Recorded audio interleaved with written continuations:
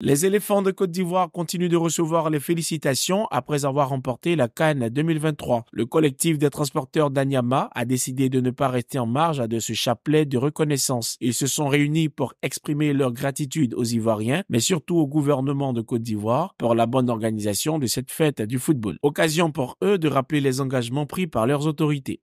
Et après la Cannes, on va continuer. On a un crédit avec Monsieur le Président, son Excellence, Alassane Ouattara, qui a 5000 véhicules, mais.